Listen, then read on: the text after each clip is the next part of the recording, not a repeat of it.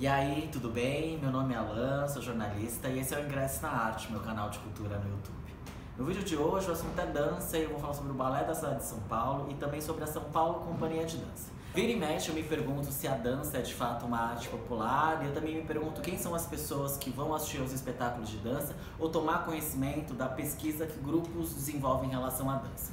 Eu desconheço pesquisas que poderiam tirar essas dúvidas, mas ao constatar que os espetáculos do Balé da Cidade de São Paulo e também do São Paulo Companhia de Dança lotaram e também que as duas maiores emissoras do país, como a Globo e a Record, abrem espaço para a dança, seja em quadros como Dança dos Famosos ou em um programa como Dance Dance Brasil, eu posso afirmar que só não dança quem não quer.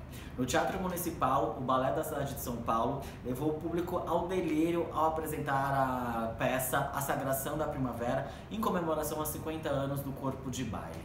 Essa peça estreou em 1913 e tem como trilha sonora do Igor, Igor Stravinsky. E quando estreou lá em Paris, em 1913, o público vaiou, ninguém gostou muito daquela modernidade, tanto uh, da trilha sonora quanto da coreografia. Muito diferente do que aconteceu com o Balé da cidade de São Paulo, no Teatro Municipal, que, como eu falei, levou o público ao delírio e lotou todas as sessões por lá. A Sagração da Primavera, uma coisa que chama bastante atenção no, na coreografia, é uma ininterrupta chuva de pétalas de rosa que cria um, um, visual muito bacana, um efeito muito bacana na coreografia e também quando os 34 bailarinos estão no palco e é um momento meio mágico assim. E também é muito divertido e incrível observar da onde os bailarinos surgem no palco e também por onde eles saem no palco.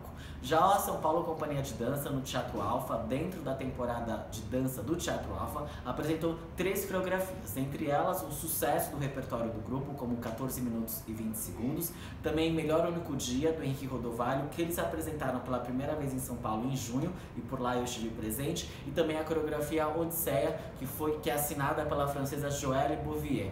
Nessa coreografia da Odisseia, chama bastante atenção os elementos cênicos que eles utilizam uh, durante a coreografia, fotografia que cria um, um efeito de mar uh, e é muito interessante porque justamente essa coreografia fala sobre viagens, também fala sobre refugiados, lembrando né, que a gente vive hoje em dia uma crise de refugiados, tanto na Europa quanto aqui na América Latina, no caso, por exemplo, da Venezuela.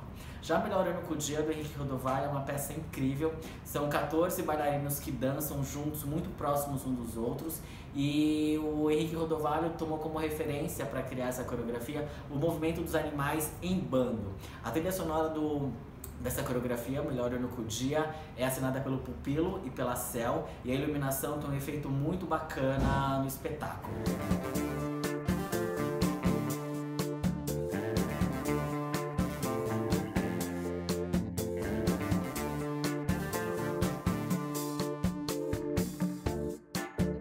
Falando novamente do Odisseia, a trilha sonora é do Heitor Villa-Lobos, do Bar, e além disso, a, a coreógrafa inseriu ali um poema declamado pela Maria Bethânia, e é lindo.